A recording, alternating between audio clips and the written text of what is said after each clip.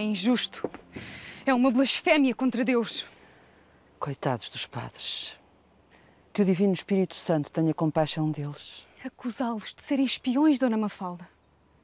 É isto possível? São homens bondosos, educados na fé de Cristo. Alguém acredita que possam ter atentado contra meu pai? Acredita, Dona Mafalda? Quem sou eu para explicar os desígnios do Senhor, Alteza? Vivemos um tempo muito confuso, cheio de ideias novas. Nenhuma ideia nova pode servir para perseguir os mais leais e humildes servos de Deus. Os jesuítas são os mais bondosos de todos os padres. E poderosos, Alteza. Não é por causa da sua piedade que estão a ser perseguidos. O que queres dizer, Dona Mafalda? Quer dizer que tudo o que está a acontecer nada tem a ver com o atentado contra vosso pai. O atentado não passa de um pretexto para fazer política. Política? Mas os jesuítas são. O vosso pai foi bem claro. Quando ele ameaça, quer dizer que o que está a fazer não é o que ele está a pensar. Eu não vos percebo, minha mãe. Os santos padres são. Nem eu percebi.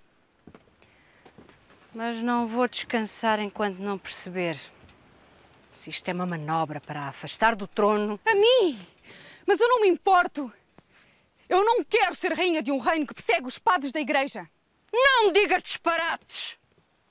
A menina foi criada, foi educada e preparada para se sentar no trono deste reino. Dediquei toda a minha vida a esse sonho.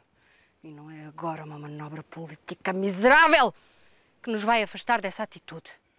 Mas os padres, Os minha padres. Tenho pena por eles. Mas teria muito mais pena por mim e por si se não soubéssemos avaliar o que se está a passar. É preciso pensar claro. É preciso pensar muito claro. Eu não quis preocupar os nossos filhos, mas este decreto é muito mais grave do que parece.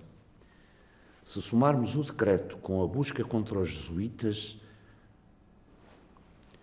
o que irá acontecer a seguir?